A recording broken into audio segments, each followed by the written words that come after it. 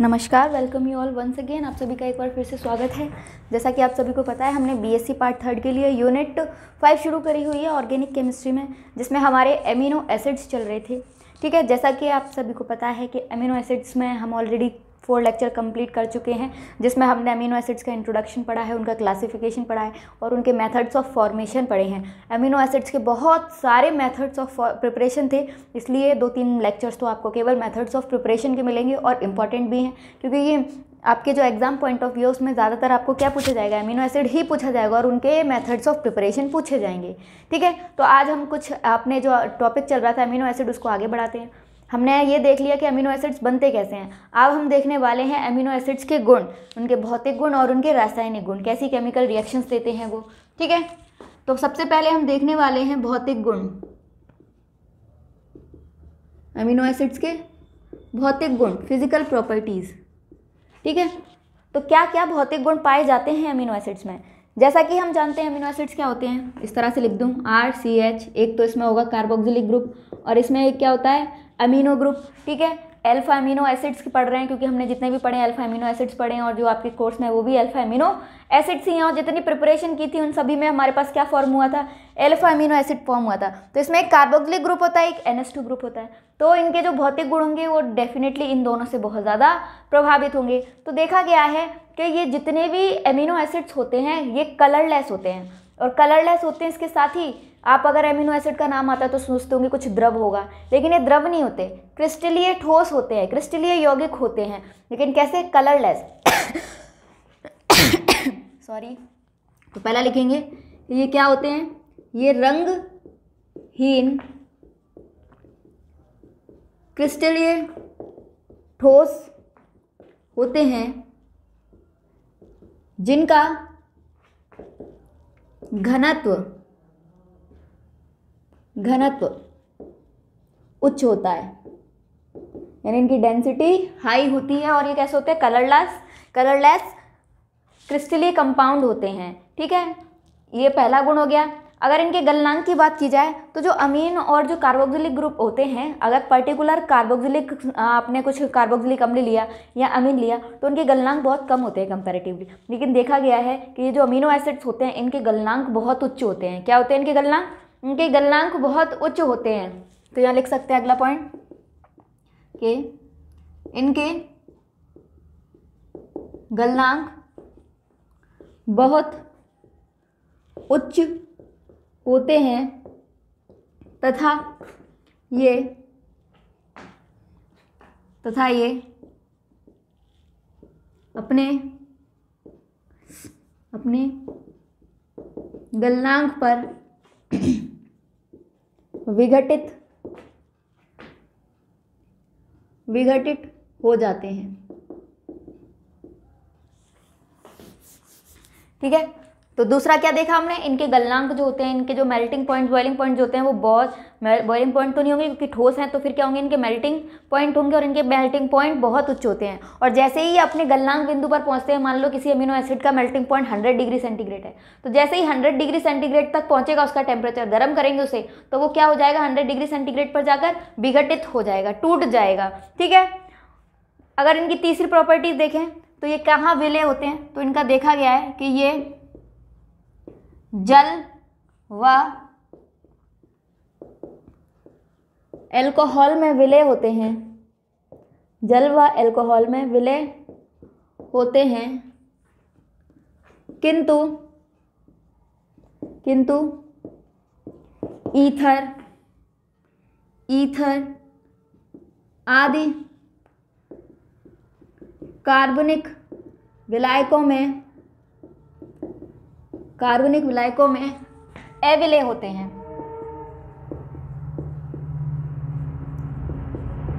एविले होते हैं। यानी कि ये वाटर और अल्कोहल जितने भी पोलर सॉल्वेंट्स हैं, ध्रुवीय विलायक हैं, उनमें घोला जाए तो घुल जाते हैं आसानी से। लेकिन जो कार्बनिक विलायक हैं, जब इनको किसी कार्बनिक विलायक में घोला जाता है तो फिर ये आसानी से घुलते नहीं है। ऐसा इनको देखा गया है। ठीक है? इनके द्विध्रुव आगुण देखा जाए तो इनके द्विध्रुव आगुण के मान काफ़ी उच्च होते हैं। ये हम बाद में एक्सप्लेन करेंगे कि क्यों होते हैं। इनके द्विध्रुव आगुण के मान उच्च होते हैं। अब हमने क्या बोला? द्विध्रुव आगुण द्विध्रुव का मतलब समझते हैं। द्विध्रुव तो वहाँ होते हैं जहाँ पर द्विध्रुव बन रहे हों। ये आप लोगों ने फ़र्स्ट ईयर में पढ़े होंगे द्विध्रुव आगुण। द्विध्रुव आगुण हम कहाँ निकालते हैं? जैसे हमारे पास एच है, ठीक है? हम जानते हैं क्लोरीन की विद्युत ऋणात्मकता एच से ज़्यादा होती है। इसलिए ये डेल्टा नेगेटिव और ये डेल्टा पॉजिटिव होता है क्योंकि इलेक्ट्रॉनों को अपनी तरफ़ खींच लेता है। तो ऐसे मॉलिक्यूल्स में द्विध्रुव बन जाते हैं। तो द्विध्रुव आगुण वहाँ निकाला जाता है जहाँ पर द्विध्रुव क्रिएट होते हैं, बनते हैं। तो यहाँ तो हमने अमीनो एसिड्स को ऐसे लिखा था। R C H C O O H यहाँ पर है एन एच टू कहाँ आपको द्विध्रुव दिखाई दे रहे हैं यहाँ पर?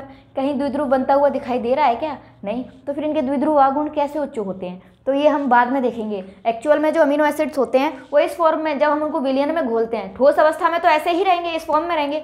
लेकिन जब हम उनको विलियन में घोलते हैं तो उनका जो स्ट्रक्चर है, वो चेंज हो जाता है। बाद में देखेंगे कि क्या चेंज होते हैं इनके स्ट्रक्चर में और क्यों इनके द्विध्रुव आगुण के मान उच्च होते हैं। फ़िलहाल तो देखिए, इनके द्विध्रुव आगुण के मान क्या होते हैं? उच्च होते हैं। ठीक है? तो ये हैं इनके कुछ फ़िज़िकल प्रॉपर्टीज़ ठीक है? भौतिक गुण। इसमें अब हम जो अगली फ़िज़िकल प्रॉपर्टीज़ को फ़िज़िकल प्रॉपर्टीज़ के तौर पर ही लेंगे, लेकिन एक्चुअल में फ़िज़िकल प्रॉपर्टीज़ में आएगी नहीं, वो एक अलग से टॉपिक है। ठीक है? क्या होता है? अभी जैसा कि मैंने बोला, इनके द्विध्रुव आगुण के मान क्या होते हैं? उच्च होते हैं। ठीक है? क्यों? द्विध्रुव आगुण तो तभी क्रिएट हो सकता है जब द्विध्रुव हो, यानी कि पॉजिटिव और नेगेटिव पोल बने। और यहाँ तो हमने अमीनो एसिड देखे थे, ये तो न्यूट्रल होते हैं। तो फिर ये द्विध्रुव आगुण क्यों दिखा रहे हैं? तो एक्चुअल में अमीनो एसिड्स जिस फॉर्म में हमने अब तक लिखते आए हैं, उसमें एग्जिस्ट नहीं करते। जब हम उनको विलियन में घोलते हैं, उनका विलियन बनाते हैं तो वो एक अलग ही फॉर्म में चले जाते हैं। और उस फॉर्म को बोलते हैं ज्विटर आइन क्या बोलते हैं? ज्विटर आइन तो जो हमारा अगला टॉपिक है, वो है सॉरी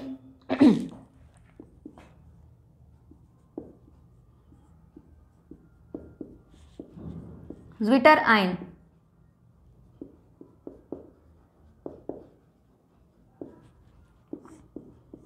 क्या होते हैं भाई ये ज्विटर आयन देखते हैं।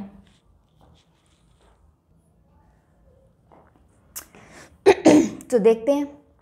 अब जैसा कि इसकी फ़िज़िकल प्रॉपर्टीज़ कहती हैं फ़िज़िकल प्रॉपर्टीज़ क्या कहती हैं? कि जैसे पहला है, ये क्या होते हैं? क्रिस्टलीय ठोस होते हैं।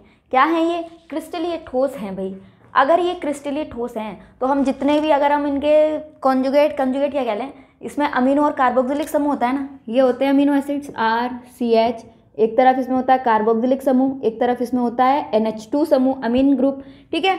तो अगर ये ऐसे हैं तो अगर ये केवल अमीन होते तो अमीन हो या सिर्फ़ केवल कार्बोक्सिलिक कार्बोक्सिलिक अणु हो, यानी कार्बोक्सिलिक अम्ल हो तो उनमें देखा गया है कि जो कार्बोक्सिल प्योर कार्बोक्सिलिक अम्ल होते हैं या अमीन्स होते हैं, उनके गलनांक और क्वथनांक जो होते हैं वो कम होते हैं और वो वाष्पशील होते हैं और इनके विपरीत, बिल्कुल कंप्लीटली विपरीत नेचर एमिनो एसिड्स क्या हैं? जबकि इसमें तो दोनों ही ग्रुप हैं कार्बोक्सिलिक ग्रुप भी है अमीन ग्रुप भी है, लेकिन एमिनो एसिड्स तो क्या है? ठोस हैं। वाष्पशील तो छोड़ो लिक्विड लिक्विड तो छोड़ो लिक्विड भी नहीं है, क्या है? ठोस हैं, वो भी क्रिस्टलीय ठोस हैं। क्यों हैं भाई? इस स्ट्रक्चर से तो ऐसा नहीं लगता कि इनको ठोस होना चाहिए। तो फिर ये ठोस क्यों है? नहीं पता चला। ठीक है, अगर इनके गलनांक की बात की जाए, बहुत उच्च होते हैं, बहुत उच्च होते हैं, लेकिन नॉर्मल अगर हम इनके जो कार्बोक्सिलिक अम्ल और अमीन होते हैं, उनके गलनांक से इनकी कंपैरिजन करें तो उनके कंपैरिजन में इनके गलनांक बहुत बहुत बहुत उच्च हैं। ऐसा क्यों है भाई?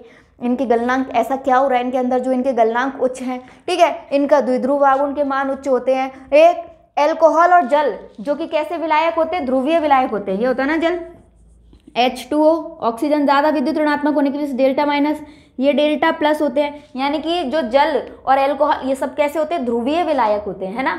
और ये घुलते भी किसमें? ध्रुवीय विलायक में। जबकि हम जानते हैं समान समान को घोलता है। और ध्रुवीय विलायक तो ऐसे मॉलिक्यूल्स को विलय करेंगे, जिन पर खुद चार्ज हो डाइपोल हो, जैसे कि यहाँ पर चार्ज है तो ऐसे ही यौगिकों को विलय करेंगे ना जिन पर चार्ज हो, लेकिन क्या आपको इस पर कोई चार्ज दिखाई दे रहा है? नहीं दिखाई दे रहा। तो फिर ये ध्रुवीय विलायकों में विलय क्यों ऐसे तो अध्रुवीय विलायकों में होना चाहिए, जैसे ether alcohol sorry ether benzene इस तरह के जो अध्रुवीय विलायक होता है, उसमें विलय होना चाहिए। फिर ये उनमें विलय क्यों नहीं होता? तो एक्चुअल में देखा गया है कि जो अमीनो एसिड्स होते हैं, वो सॉल्यूशन सॉलिड फॉर्म में तो ऐसे रहते हैं जब सॉलिड होंगे, लेकिन जब उनको विलियन बनाया जाता है, उनका विलियन बनाया जाता है तो वो इस फॉर्म में एग्जिस्ट नहीं करते। तो कौन सी फॉर्म में एग्जिस्ट करते हैं भाई?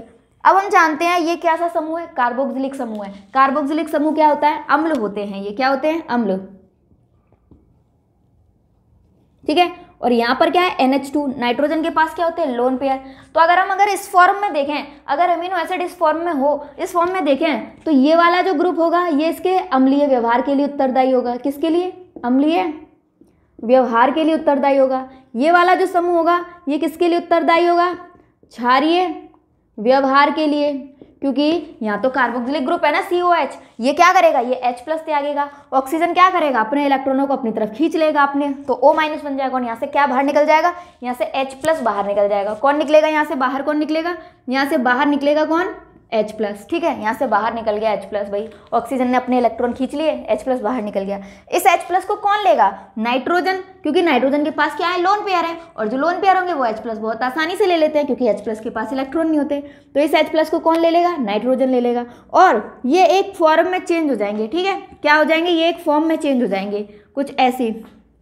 आर सी एच ये तो बनेगा सी ओ ओ माइनस और यहाँ पर एन एच टू तो पहले से ही था, एक एच और ले लिया इसने।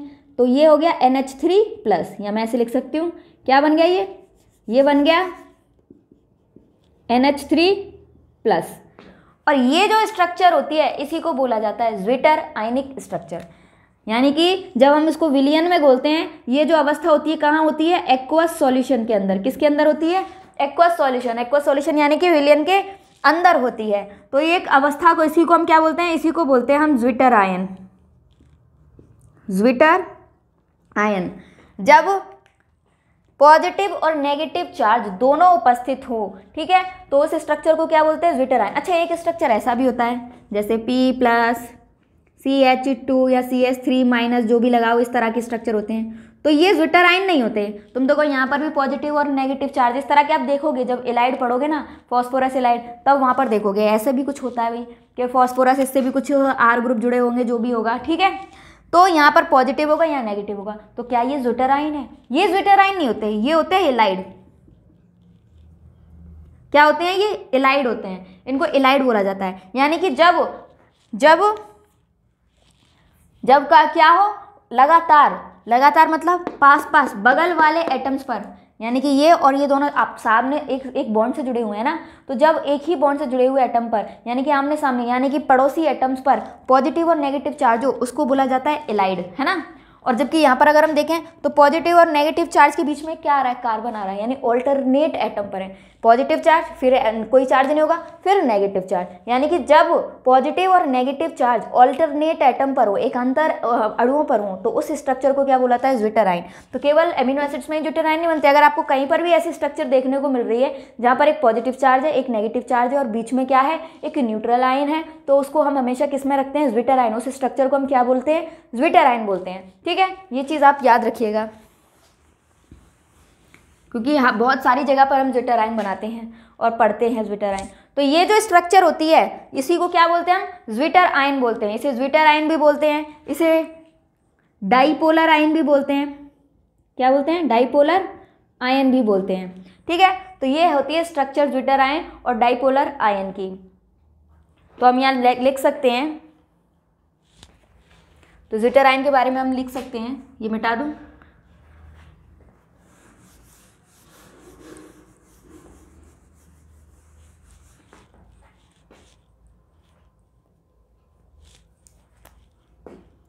तो लिख सकते हैं हम। एमिनो अम्ल जलीय विलियन में एमिनो अम्ल जलीय विलियन में द्विध्रुवीय द्विध्रुवीय द्विध्रुवीय आयन लिखो। द्विध्रुवीय आयन के रूप में, आयन के रूप में उपस्थित रहते हैं, उपस्थित रहते हैं, जिसे क्या कहते हैं हम? ज्विटर आयन कहते हैं। जिसे हम क्या कहते हैं? ज्विटर आयन कहते हैं। तो ये जो स्ट्रक्चर होगी, इसी को हम क्या कहते हैं? ज्विटर आयन कहते हैं। ठीक है? अगर हम इसकी न्यूट्रल स्ट्रक्चर से कंपैरिजन करें तो वहाँ पर अम्लीय व्यवहार, यहाँ लिख देती हूँ मैं R C H C O O H और यहाँ पर है एन एच टू और थोड़ा समझते हैं इनके बारे में। अगर हम ज्विटर आयन के स्ट्रक्चर पर गौर करें तो अगर इस फॉर्म में होंगे न्यूट्रल फॉर्म में तो अम्लीय व्यवहार के लिए कौन उत्तरदायी होगा? सी ओ ओ एच ग्रुप क्षारीय व्यवहार के लिए कौन उत्तरदायी होगा? एन एस टू क्योंकि इसके पास लोन पेयर होते हैं। लेकिन यहाँ पर आकर उल्टा हो जाता है इनका व्यवहार। उल्टा क्यों हो जाता है? अब भाई एन नाइट्रोजन नाइट्रोजन पर कैसा चार्ज आ गया? पॉजिटिव चार बॉन्ड बना लिए नाइट्रोजन और हम इतने सारे रिएक्शंस के हम जानते हैं, जब भी नाइट्रोजन चार बॉन्ड बनाता है, यानी इलेक्ट्रोनेगेटिव एटम पर पॉजिटिव चार्ज आता है, वो स्टेबल तो होता नहीं है। तो ये प्रवृत्ति रखेगा कि तुरंत ही अपना एच प्लस आयन क्या करे त्याग दे। तुरंत ही अपना H प्लस आयन त्याग दे। और किसमें चेंज हो जाए? NH2 में चेंज हो जाए। तो इसका मतलब अम्ल क्या होते हैं? जो H प्लस आयन त्यागते हैं। और यहाँ पर H प्लस आयन कौन त्याग रहा है? NH3 ग्रुप तो यहाँ पर इसका मतलब है कि ये जो NH3 ग्रुप है, अम्लीय व्यवहार के लिए ये उत्तरदायी है, ठीक है? और अगर इसके बात करें जिस पर इलेक्ट्रॉनों की अधिकता होती है, वो क्या होते हैं? क्षार होते हैं, क्योंकि वो इलेक्ट्रॉन दे सकते हैं। तो हमको यहाँ दिख रहा है, ऑक्सीजन पर क्या है? नेगेटिव चार्ज है। तो ये ओ माइनस चार्ज है, यानी कि ये क्या कर सकता है? इलेक्ट्रॉनों को दे सकता है किसी को दान, जैसे कि एच प्लस को। एच प्लस जिसके पास इलेक्ट्रॉन नहीं है, उसको इलेक्ट्रॉन दान देगा और उसके साथ क्या कर लेगा? बॉन्ड बना लेगा। तो इसका मतलब अब ये इलेक्ट्रॉन दान करने की कंडीशन में तो ये किसके लिए उत्तरदायी होगा? अब यहाँ पर हम लिख सकते हैं, ये किसके लिए उत्तरदायी होगा? उल्टा ही हो गया, क्षारिय गुण के लिए। क्षारिय गुण कह लो या फिर क्षारिय व्यवहार के लिए ये उत्तरदायी होगा और अम्लीय व्यवहार के लिए ये उत्तरदायी होगा। और क्योंकि हम जानते हैं अमोनियम आयन जो होते हैं, अम्ल, H प्लस आयन त्यागेंगे तो सही, लेकिन प्रबल अम्ल नहीं होते। कैसे होते हैं? दुर्बल अम्ल होते हैं। ठीक है? और अगर इसकी बात करें, अब तो बोलोगे, चलो, ये तो दुर्बल अम्ल है, लेकिन सी ओ ओ माइनस जहाँ पर भी नेगेटिव चार्ज आता है, हम जानते हैं वो प्रबल क्षारीय होते हैं। जिन पर भी चार्ज स्पीसीज होती हैं, जैसे ओ एच माइनस ले लो ओ एच माइनस ले लो आर ओ माइनस ले लो आर ओ माइनस ले लो, ठीक है? यानी कि ये जितनी भी चार्ज स्पीसीज होती हैं, ये कैसी होती हैं? प्रबल क्षारी होती हैं, तुरंत एच प्लस लेना चाहती हैं। तो आप कहोगे, ये तो प्रबल क्षारीय होगा, ये तो दुर्बल अम्लीय, लेकिन प्रबल क्षारीय होगा। लेकिन ये भी प्रबल क्षारीय नहीं होता भाई। क्यों नहीं होता? क्योंकि आप देख सकते हो, ये नेगेटिव चार्ज जो है, किसमें जा रहा है? किसमें भाग ले रहा है? कंजुगेशन में भाग ले रहा है। ठीक है, ये नेगेटिव चार्ज किसमें भाग ले रहा है? कंजुगेशन में। और कंजुगेशन में भाग लेगा तो ये ऐसा हो जाएगा आर सी एच सी, अब ये O माइनस हो जाएगा और ये डबल बॉन्ड हो जाएगा और यहाँ पर NH3 पॉजिटिव इसका मतलब जो नेगेटिव चार्ज आपको ऑक्सीजन पर दिखाई दे रहा है, वो लोकलाइज्ड नहीं है। लोकलाइज्ड नहीं मतलब एक ही एटम पर उपस्थित नहीं है, एक ही एटम पर टिका हुआ नहीं है। वो क्या कर रहा है? घूम रहा है लगातार। एक ऑक्सीजन से दूसरे ऑक्सीजन पर, दूसरे ऑक्सीजन से पहले ऑक्सीजन पर।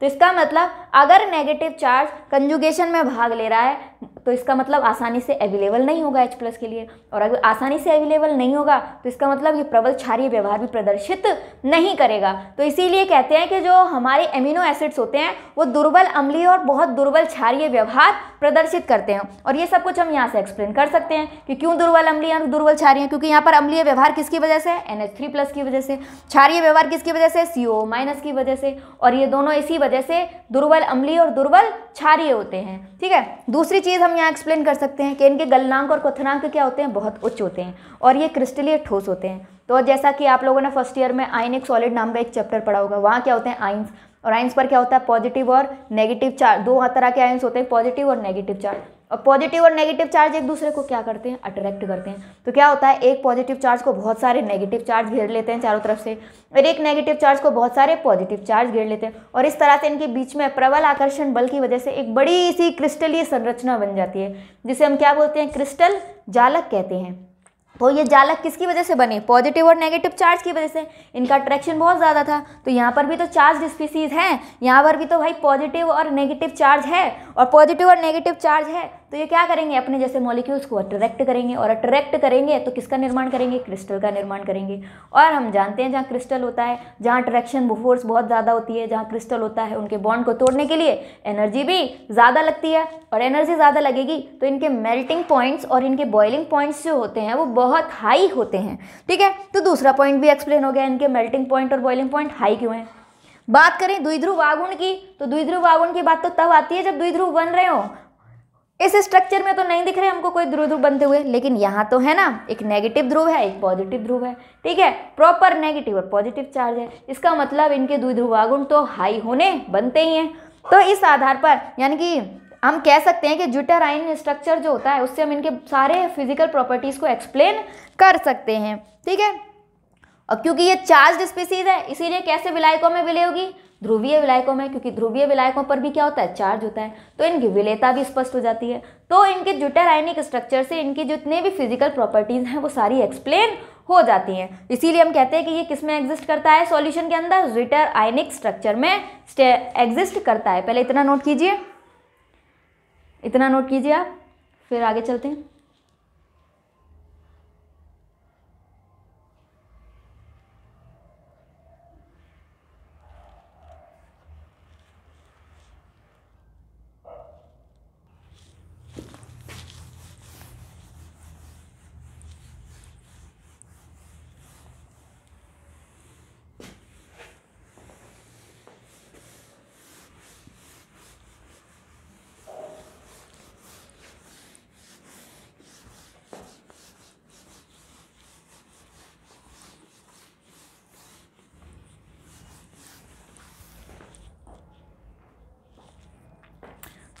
तो हम यहाँ लिख सकते हैं ज्यूटेराइनों के बारे में। जैसे ज्यूटेराइन क्या होते हैं? जैसे R C H C O O minus होगा यहाँ पर और एन एच थ्री प्लस होगा। यही तो कहलाता है ज्यूटेराइन तो इसके बारे में हम लिख सकते हैं, कुछ पॉइंट्स लिख सकते हैं कि क्या लिख सकते हैं कि ज्विटराइनिक ज्विटराइनिक संरचना में कौन? N H three plus N H three plus अम्लीय व्यवहार अम्लीय व्यवहार के लिए, अम्लीय व्यवहार के लिए उत्तरदायी होता है। जबकि सी ओ ओ माइनस ठीक है सी ओ ओ माइनस क्षारीय क्षारीय व्यवहार के लिए उत्तरदायी होता है। पहला पॉइंट तो ये लिख सकते हैं, अम्लीय व्यवहार NH3 थ्री प्लस की वजह से, क्षारीय व्यवहार COO माइनस की वजह से। नेक्स्ट पॉइंट हम लिख सकते हैं जुटेराइन के बारे में कि NH3 थ्री प्लस एक क्या होता है? दुर्बल अम्ल की तरह दुर्बल अम्ल की तरह व्यवहार करता है। इसी प्रकार इसी प्रकार सी ओ ओ माइनस का ऋणात्मक आवेश ऋणात्मक आवेश संयुग्मन में भाग लेने के कारण आसानी से उपलब्ध नहीं होता। इसलिए इसलिए यह दुर्बल दुर्बल क्षारीय व्यवहार प्रदर्शित करता है। इसीलिए तो कहते हैं, जो अमीनो एसिड्स होते हैं, वो बहुत दुर्बल अम्लीय और बहुत दुर्बल क्षार होते हैं। यानी दुर्बल अम्लीय व्यवहार होता है, उनका और दुर्बल क्षारीय अम्लीय व्यवहार किसकी वजह से एन एस थ्री प्लस की वजह से, क्षारीय व्यवहार किसकी वजह से? सी ओ ओ माइनस की वजह से। ठीक है?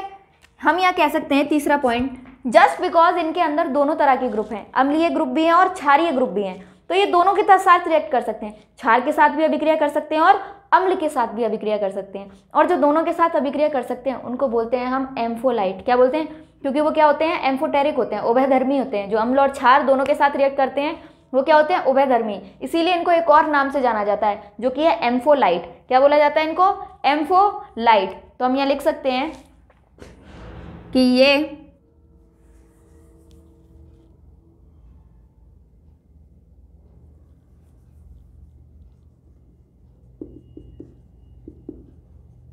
ज्विटराइनिक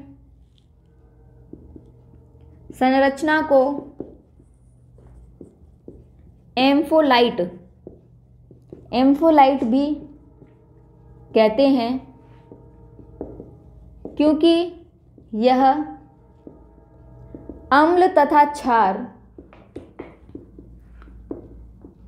दोनों के साथ,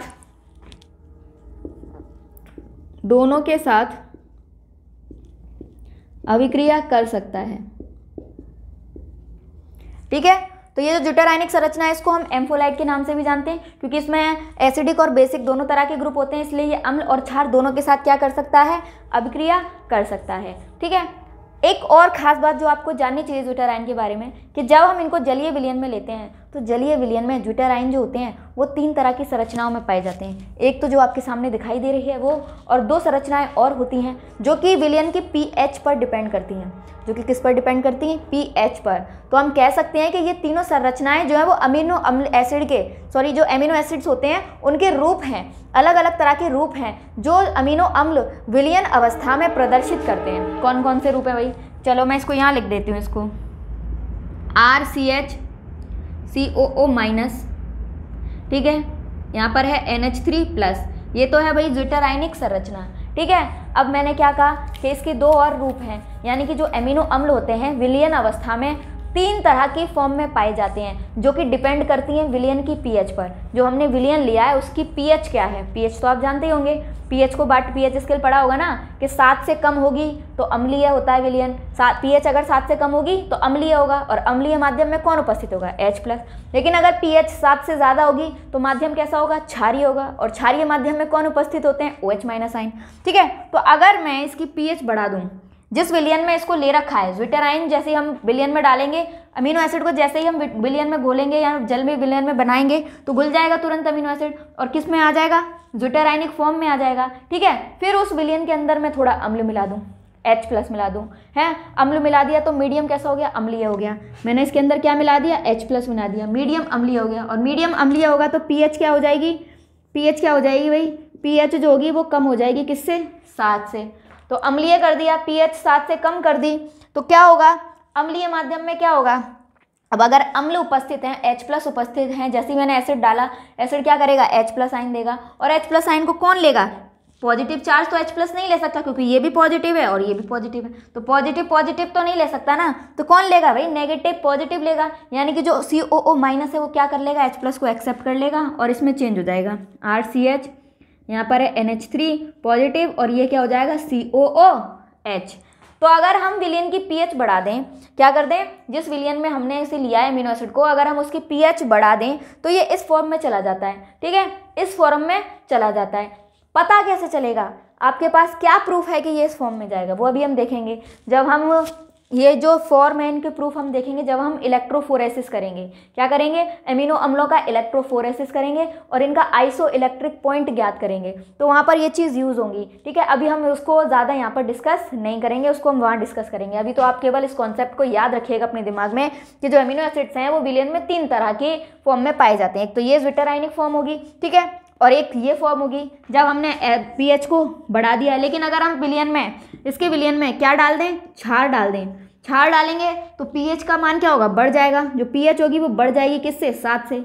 और छार के पास क्या होता है? ओ OH माइनस होता है। और ओ OH माइनस का काम क्या है? H प्लस को लेना। क्योंकि ओ OH माइनस इस पर तो रिएक्ट करेगा नहीं। माइनस माइनस पर रिएक्ट थोड़ी ना करेगा। इसका काम क्या है? H प्लस को लेना। और H प्लस लेगा तो यहाँ से कौन बाहर निकल जाएगा? एच टू बाहर निकल जाएगा। और ये चेंज हो जाएगा R C H C O O minus तो ऐसे ही रहेगा। और ये किसमें चेंज हो जाएगा? एन एच टू में। ठीक है? तो इसका मतलब अगर ये जो दोनों फॉर्म है, ये किस पर डिपेंड करती हैं? पीएच पर डिपेंड करती हैं। तो जिस जलीय विलियन में हमने एमिनो एसिड को लिया है, अगर वो अम्लीय है, उसकी पीएच अगर वो विलियन कैसा है? अम्लीय है। तो ये फॉर्म में पाया जाएगा एमिनो एसिड लेकिन अगर जो विलियन हमने लिया है, वो क्षारीय है तो एमिनो एसिड इस फॉर्म में पाया जाएगा। है ना? तो अगर हम इसका इलेक्ट्रोफोरेसिस कराएँ, याद पढ़ा होगा आप लोगों ने कभी ट्वेल्थ में इलेक्ट्रोफोरेसिस क्या होता है कि एक बीकर लेंगे, उसमें हमने क्या ले लिया? ज्यूटाराइन का विलियन ले लिया, ठीक है? कोई अमीनो अम्ल लिया, जो विलियन अवस्था में, मान लो ये ले लिया, ठीक है? अब मैंने इसके अंदर क्या मिला दिया? अम्ल मिला दिया। क्या मिला दिया इसके अंदर? बाहर से क्या मिला दिया? अम्ल मिला दिया। अब मैंने यहाँ पर दो इलेक्ट्रोड लगा दिए, एक पॉजिटिव इलेक्ट्रोड लगा दिया और एक नेगेटिव इलेक्ट्रोड लगा दिया और इसके अंदर क्या पास की? विद्युत धारा, ठीक है? तो अम्ल मिलाया है। और अगर अम्ल मिलाया है तो जिटाराइन तो ये वाला जो एमिनो एसिड होगा, वो इस फॉर्म में चेंज हो जाएगा, है ना? और अगर इस फॉर्म में चेंज हो जाएगा तो इस पर कैसा चार्ज है? पॉजिटिव चार्ज तो ये सारा जाकर कहाँ पर जमा हो जाएगा? ये सारा जाकर कहाँ जमा हो जाएगा? नेगेटिव वाले इलेक्ट्रोड पर जाकर जमा हो जाएगा। तो अगर नेगेटिव इलेक्ट्रोड पर आपको कुछ मिल रहा है, इसका मतलब कि वो कौन सी फॉर्म में एग्जिस्ट करता है? इस फॉर्म में एग्जिस्ट करता है। अगर इसका इलेक्ट्रोफोरेसिस करें बिलियन में लेंगे ठीक है क्षारीय विलियन लिया इसमें क्या मिला दिया? क्षार मिला दिया, यानी कि विलियन जो लिया है, हमने कैसा लिया है? क्षारीय विलियन लिया है, ठीक है क्षारीय विलियन लिया है, इसमें दो इलेक्ट्रोड लगा देंगे, पॉजिटिव और नेगेटिव, इसमें विद्युत धारा पास करेंगे। तो जब हम जानते हैं क्षारीय अवस्था में ये किस फॉर्म में होता है? सी ओ ओ माइनस ओवरऑल कैसा होता है? सी ओ ओ माइनस होता है, और माइनस होगा तो जब विद्युत धारा प्रोवाइड करेंगे तो कौन से इलेक्ट्रोड पर जाकर जमा हो जाएगा? ये पॉजिटिव इलेक्ट्रोड तो अगर पॉजिटिव इलेक्ट्रोड पर आपको कुछ मिल रहा है तो ये क्या होगा? क्षारीय विलयन। इसका मतलब ये भी बनती है स्पीसीज और ये भी बनती है। ये हमको इलेक्ट्रोफोरेसिस से पता चलता है, ठीक है? लेकिन अगर ये वाली, मान लो हमने पीएच चेंज ही नहीं की, सात रखी न्यूट्रल रखी, ना अम्ल मिलाया, ना क्षार मिलाया, विलियन जैसा था वैसा रखा न्यूट्रल ठीक है? तो ये कहाँ जाएगा? पॉजिटिव पे जाएगा या नेगेटिव पे जाएगा? ये कहीं भी नहीं जाएगा, क्योंकि इस पर दोनों चार्ज हैं। अब जाएगा तो टूट जाएगा, है ना? पॉजिटिव अपनी तरफ़ खींचेगा नेगेटिव अपनी तरफ़ खींचेगा तो बेचारा टूट जाएगा कसम कसम फंस जाएगा, इसलिए ये कहीं जाएगा ही नहीं। यानी कि जब मैं इसको, इस फॉर्म को लेकर इलेक्ट्रोफोरेसिस कराऊँगी तो इसका इलेक्ट्रोफोरेसिस नहीं होगा। और यही, ये जो फॉर्म होती है, इसी से हम इसका क्या निकालते हैं? आइसो इलेक्ट्रिक पॉइंट निकालते हैं। ठीक है? आइसो इलेक्ट्रिक पॉइंट क्या होता है, वो हम बाद में एक्सप्लेन करेंगे। ठीक है? तो हम प्रूफ भी कर सकते हैं कि ये दोनों फॉर्म सच में एग्जिस्ट करती हैं या नहीं। और बाद में देखेंगे सबसे एंड में आइसो इलेक्ट्रिक पॉइंट को निकालना। कैसे निकालेंगे आप अमीनो अमनों के लिए आइसो इलेक्ट्रिक पॉइंट? ठीक है फ़िलहाल तो आप इतना नोट कीजिए जल्दी से। विटर आयनों के बारे में। तीन फॉर्म में एग्जिस्ट करता है। अगर छाली अगर पीएच कम होगी तो इस फॉर्म में रहेगा। पीएच ज़्यादा होगी तो इस फॉर्म में रहेगा। और पीएच अगर न्यूट्रल है तो इस फॉर्म में रहेगा।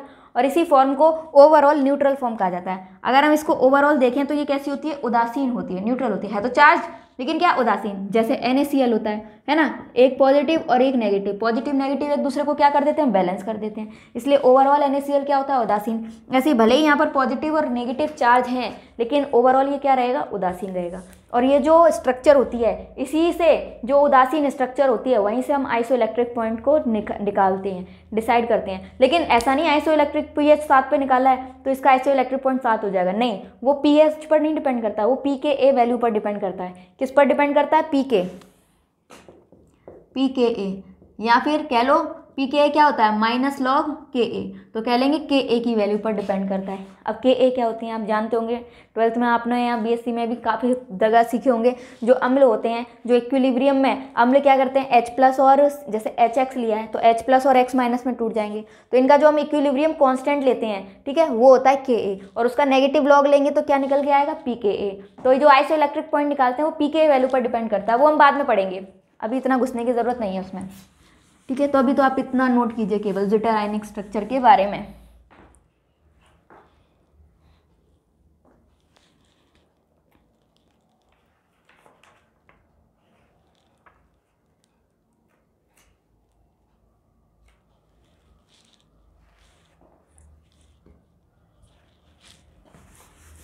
अब हम देखेंगे अमीनो अम्लों की रासायनिक अभिक्रियाएँ। अभी तक तो हम भौतिक गुण चल रहे थे। जुटेरायनिक स्ट्रक्चर पढ़ लिया, जो कि इंपॉर्टेंट है, पूछ सकता है आपसे जुटेरायनिक संरचना के बारे में।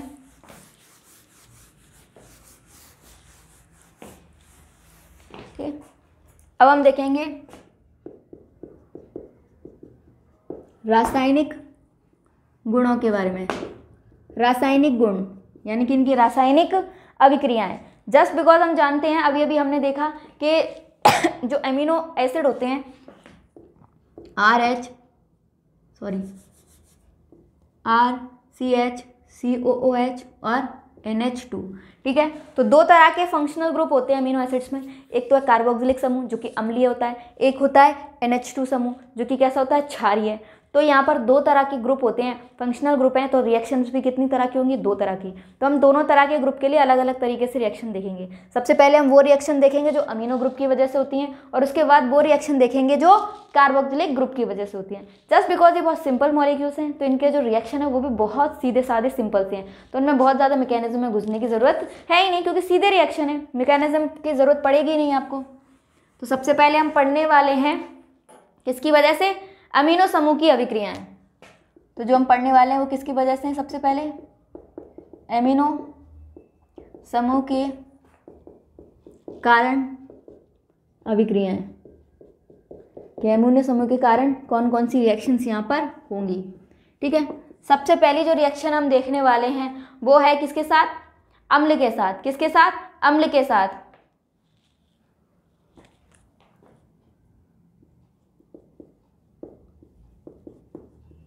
अकार्बनिक अम्लों के साथ। अकार्बनिक अम्ल जैसे H C L H two S O four इस तरह के अकार्बनिक अम्ल। तो देखा गया है कि ये जो एमिनो अम्ल होते हैं, ये अकार्बनिक अम्लों के साथ लवण का निर्माण करते हैं। लवण का निर्माण करते हैं। कहने का क्या मतलब है? लवण कैसे बनाएँगे? भाई, कोई एमिनो एसिड है, मान लो ये है। सी H C O O H और यहाँ पर क्या है? एन एच टू इसके पास क्या होते हैं भाई? लोन पे है मान लो हमने कोई अम्ल लिया है, कौन सा लिया है? एच सी एल और अम्ल का काम क्या होता है? एच प्लस आइन देना। अम्ल का काम क्या होता है? एच प्लस तो ये होगा पॉजिटिव और ये क्या होगा? नेगेटिव इसमें टूट जाएगा, जैसे विलियन में लेंगे एच प्लस और सी एल माइनस में टूट जाएगा। भाई एन एच टू के पास क्या होते हैं? लोन पेयर ये क्या करेगा? तुरंत जाकर एच प्लस ले लेगा।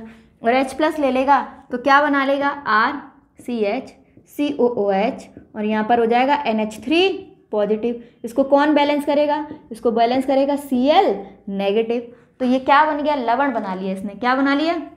लवण सॉल्ट पॉजिटिव और नेगेटिव जहाँ पर होते हैं वो क्या होते हैं? लवण ही तो होते हैं सॉल्ट ही तो होते हैं। तो ये क्या बन गया? ये मान लो हमने कौन सा अमीनो एसिड लिया है? एमिनो एसिड पर डिपेंड करेगा। मान लो यहाँ पर आर की जगह हमने क्या लगा दिया? एच लगा दिया। और जैसे एच लगा दिया, ये किसमें चेंज हो गया? ग्लाइसिन में। कौन सा अमीनो एसिड बन गया? ग्लाइसिन बन गया। तो हम इसको बोलेंगे, कौन सा लवण बनेगा ये? ग्लाइसिन का लवण बनेगा। क्या है ये? ग्लाइसिन लवण है। या फिर यूँ कह दो ग्लाइसिन हाइड्रोक्लोराइड है। क्या बनाइए?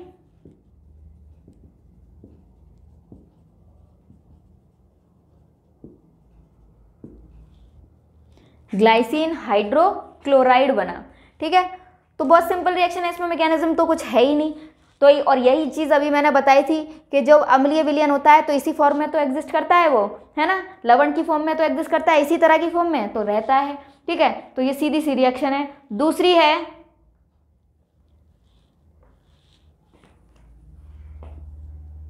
दूसरी है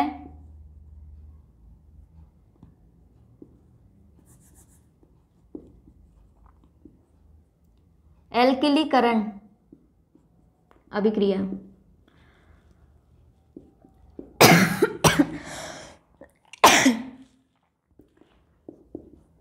क्या होगा? मान लो हमने ग्लाइस एलानीन लिया है, ठीक है? अब इस बार कौन सा अमीनो एसिड लिया है?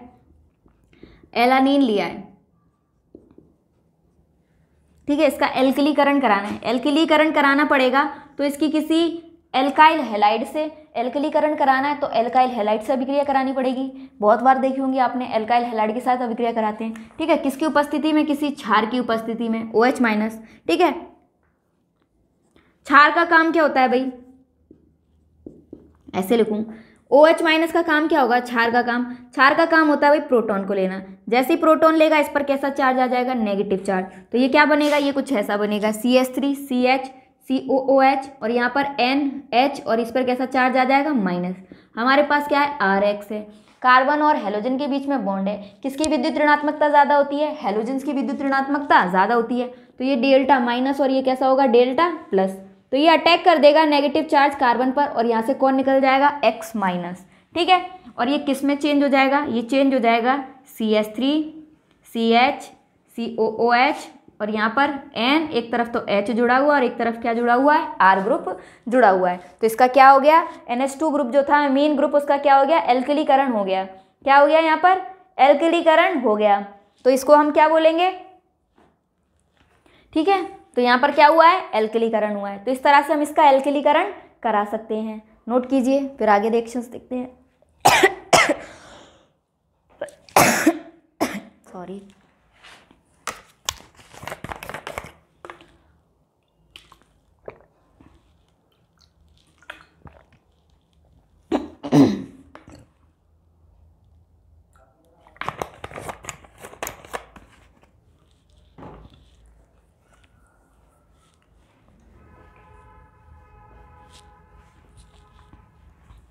बहुत सिंपल सिंपल स्वीट स्वीट सी, छोटी छोटी सी रिएक्शन है।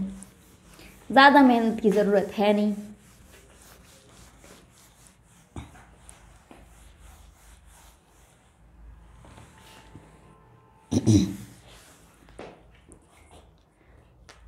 जैसे हमने एल्किलीकरण कराया, वैसे ही हम क्या करा सकते हैं? एसिलीकरण करा सकते हैं। तो अगली रिएक्शन जो होगी वो कौन सी होगी? एसिलीकरण अभिक्रिया। ठीक है? तो क्या होगा इसमें? डायरेक्ट रिएक्शन लिखते हैं आपको। इसकी लैंग्वेज लिखनी है तो आप लिख सकते हो। कि जब एमिनो एसिड्स को एसिटिक एनहाइड्राइड या एसिड क्लोराइड या एसिल क्लोराइड के साथ गर्म किया जाता है तो क्या बनता है? क्या बनता है? जो भी हम एमिनो एसिड लेंगे, उसका एसिल डेरिवेटिव बनता है। क्या बनता है? अमीनो अम्ल का एसिल व्युत्पन्न प्राप्त होता है। देखते हैं भाई कैसे। मान लो कोई अमीनो एसिड लिया है। कौन सा लिया? एलालीन ले लेते हैं। सी ओ ओ एच यहाँ पर है एन एच टू ठीक है? इसकी रिएक्शन कराते हैं हम. C S three C O C L acid chloride के साथ कराते हैं. ठीक है? एसिड क्लोराइड है। यहाँ पर नाइट्रोजन है। नाइट्रोजन के पास लोन पेयर है। यहाँ पर क्या है? कार्बोनिल ग्रुप है। हम जानते हैं डेल्टा माइनस डेल्टा प्लस होता है क्योंकि कार्बन पर इलेक्ट्रॉनों की कमी होती है। इलेक्ट्रोफिलिक होता है कार्बन और यहाँ इलेक्ट्रॉन है। तो ये जाकर अटैक कर देगा। ये जैसे ही अटैक करेगा, ये ऊपर जाएगा बॉन्ड पाई बॉन्ड कहाँ जाएगा? ऑक्सीजन पर। फिर ऑक्सीजन वापस से पाई बॉन्ड को नीचे ट्रांसफ़र करेगा और यहाँ से कौन निकल जाएगा? सी एल माइनस बाहर निकल जाएगा। तो ये क्या बनेगा? C H three C H C O O H यहाँ पर एन एच टू तो पहले से जुड़े हुए थे। एक एच तो पहले से जुड़ा था, साथ में क्या जुड़ गया? सी ओ सी एस थ्री जुड़ गया। और जैसे ही नाइट्रोजन चार बॉन्ड बनाएगा, कैसा चार्ज आ जाएगा भाई? पॉजिटिव चार्ज आ जाएगा। यहाँ से कौन निकला था? सी एल माइनस निकला था। यहाँ से ये क्या ले लेगा? C L minus H plus ले लेगा। और ये बॉन्ड कहाँ शिफ्ट हो जाएगा? नाइट्रोजन पर। तो यहाँ से कौन बाहर निकल जाएगा? Minus H C L H C L तो क्या हो जाएगा? बाहर हो जाएगा। और ये चेंज हो जाएगा C S three C H C O O H और यहाँ पर हो जाएगा एन एच और साथ में क्या जुड़ जाएगा इसके साथ? C O C H three तो N H C O C H three बन जाएगा। इस ग्रुप को हम ए सी से भी रिप्रेजेंट करते हैं। किससे? ए सी से।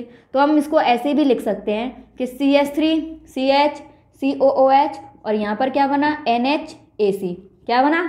एन एच ए सी इसको क्या बोलेंगे? कौन सा अमीनो एसिड था? एलानीन और ये क्या बन रहा है? एसिटल क्लोराइड बन रहा है एलानीन का। तो ये क्या हो जाएगा? एसिटल क्लोराइड ऑफ़ एलानीन क्या हो जाएगा? एसिटल क्लोराइड ऑफ़ एलालीन या फिर इसको हम लिख सकते हैं एसिटल ऑफ़ एलालीन क्या बनेगा? एसिटल एला नीन ठीक है? तो इस तरह से इसका एसिटिलीकरण होता है। ये तो रिएक्शन है जब एसिड क्लोराइड के साथ कराई है। हम जानते हैं एसिडिक एसिडीकरण कराना हो तो एक तो हम एसिड क्लोराइड यूज़ करते हैं और दूसरा हम कुछ और भी यूज़ कर सकते हैं। क्या यूज़ कर सकते हैं? ठीक है तो हम क्या यूज़ कर सकते हैं यहाँ पर? नाइट्रोजन के पास लोन पेयर है। इसके अलावा एसिटिक एंड हाइड्राइड भी तो यूज़ कर सकते हैं। C double bond O O C double bond O C H three है ना? ये भी तो यूज़ करते हैं हम एसिलीकरण के लिए। रिएक्शन वही सेम होगी। नाइट्रोजन जाएगा अटैक करेगा, ये ऊपर जाएगा, नीचे आएगा और ये यहाँ से बाहर निकल जाएगा। C S three C O O minus बाहर हो लेगा।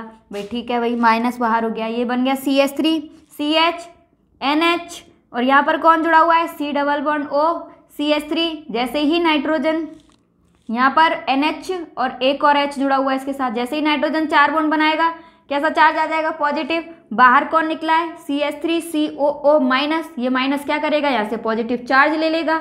सॉरी प्रोटोन ले लेगा।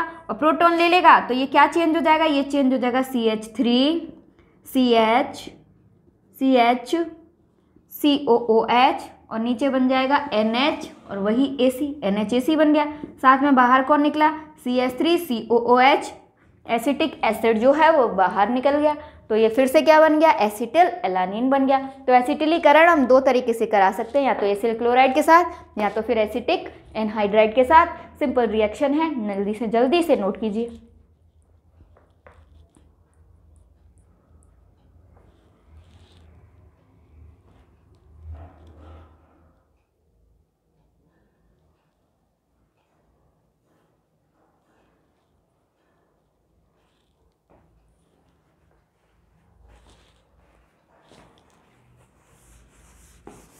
ठीक है, आगे चलते हैं भाई।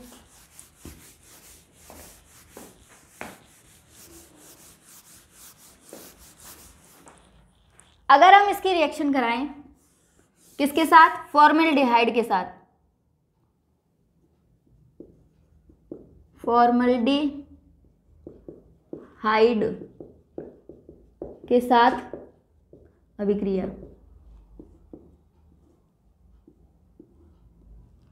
ठीक है? तो क्या होगा भाई? अगर हम इसकी रिएक्शन फॉर्मल के साथ कराएँगे तो यहाँ पर संगनन होगा कंडेंसेशन यानी कि वाटर मॉलिक्यूल जो होगा वो बाहर निकलेगा। तो हम यहाँ लिख सकते हैं कि फॉर्मल के साथ यह संघनन द्वारा फॉर्मल के साथ यह संघनन द्वारा